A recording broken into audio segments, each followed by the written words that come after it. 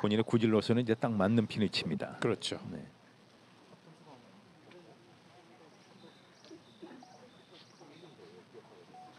그리고 참 많은 갤러리들 속에 선수이자 지금은 또 갤러리 역할까지 네. 광고 보드 뒤쪽에서 또 관람을 하고 있는 박상현 선수의 모습이 네. 잠시 나왔고요. 현재 3오버파 흐름을 좀 바꿔야 되는 정찬민 선수인데요.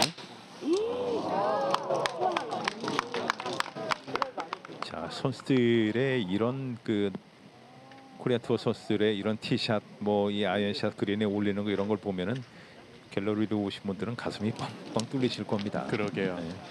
참 골프라는 게 이렇게도 치는 거구나 이렇게 느끼시는 분들도 세상 많으실 거예요. 1라운드 역.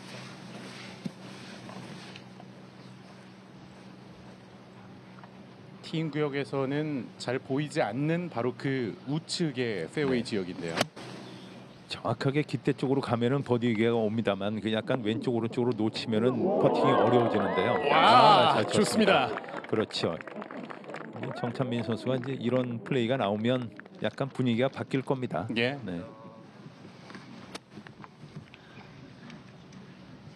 분위기를 세계적이지만 국내에도 참 세계적인 골프 코스가 많습니다. 그렇죠. 네.